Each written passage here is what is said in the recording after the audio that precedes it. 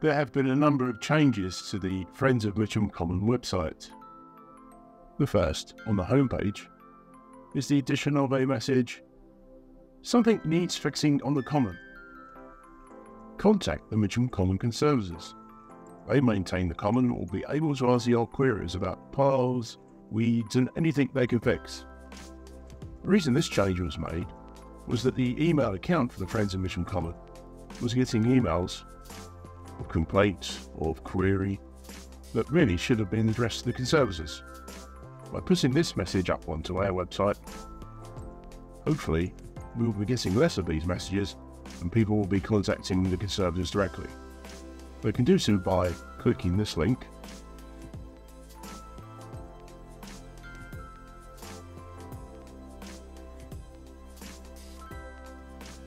or the image.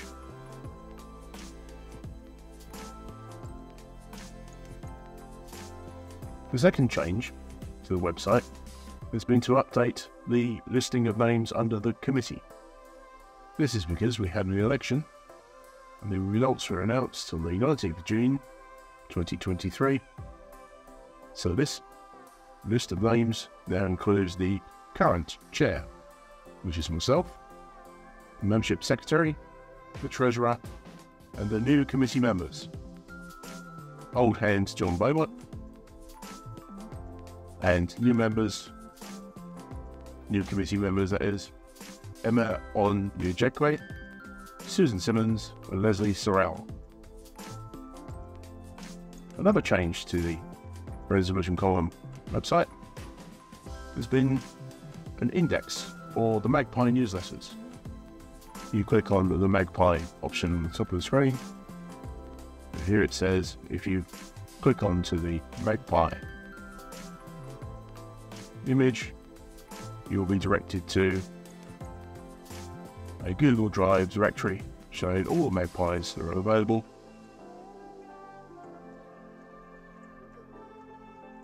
You just click on one of them to see the contents of that issue. What's now been added to our website is an index. You click on here, index of the articles,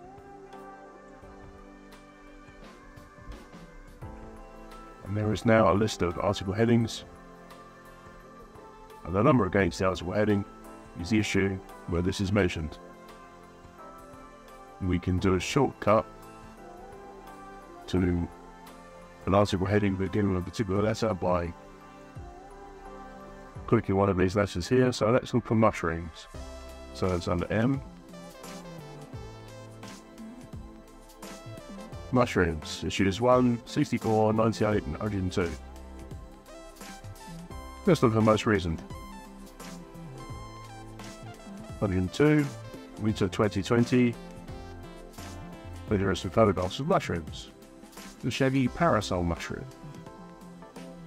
Now, you might ask, are there any other articles about the parasol mushroom? So, let's go back to the index. Go to P, parasol mushroom, 1 and 102. 102 is what we just looked at, so let's look at number 1.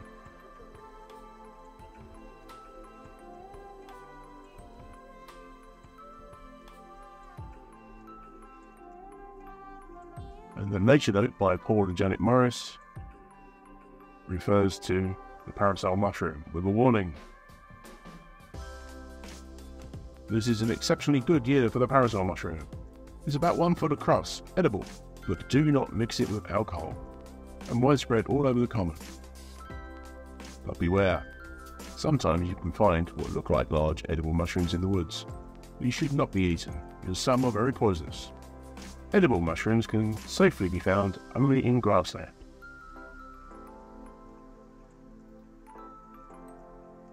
So there you have it.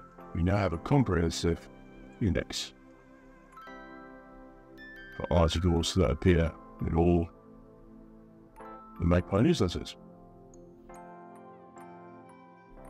The fourth change to the Friends of Mitcham Common website has been the addition of an events calendar. This can be found via the menu line at the top.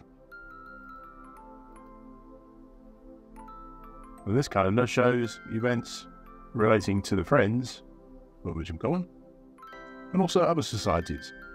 For example, Wednesday the 26th of July, Community on the Green. The description has a link to the webpage for Mitcham Cricket Green Community and Heritage, which gives us information about the event.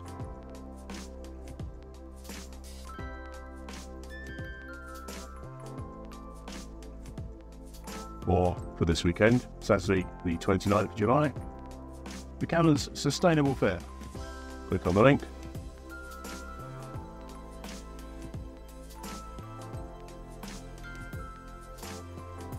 And match the calendar.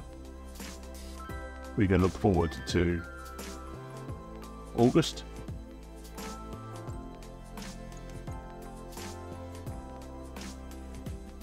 On the first Thursday of every month, it's the Magpie Meet. An informal gathering in the bar of the Miller and Carter restaurant to the Ecology Centre in Windmill Road, Mitcham. You don't have to be a member to come along. All are welcome.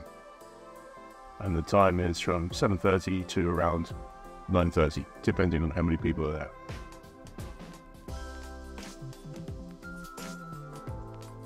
So that's the events calendar available on the Friends of Mitcham Common website. Thank you for watching. If you like this video, please press the like button and perhaps subscribe so you can be informed of more Friends of Mitcham Common videos.